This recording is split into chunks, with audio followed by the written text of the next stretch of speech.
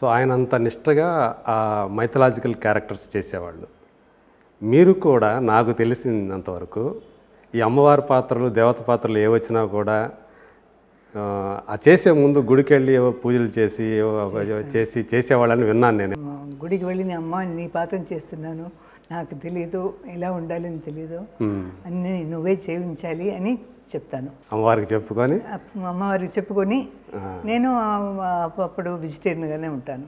మామూలుగా అయితే non veg non veg so మీరు కూడా నాకు చాలా ఎందుకంటే సడన్గా గుడికి లోపల వచ్చి అమ్మ గుడి లోపల నుంచి రండి అంటారు. తర్వాత పొద్దున్న నుంచి సాయంకాలం వరకు గుడిలోనే షూటింగ్ జరుగుతుంది.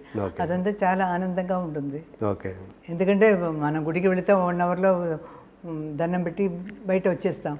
షూటింగ్ అయినప్పుడు అక్కడే ఉండొచ్చు కదా. అమ్మవారిని ఎప్పుడైనా అప్పుడప్పుడు చూసుకోవచ్చు. అది చాలా హ్యాపీగా ఉంటుంది.